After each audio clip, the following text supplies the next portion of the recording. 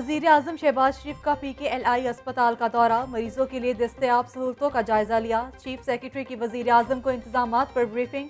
शहबाज शरीफ के मरीजों को बेहतरीन तबी सहूलियात फराम करने की हिदायत।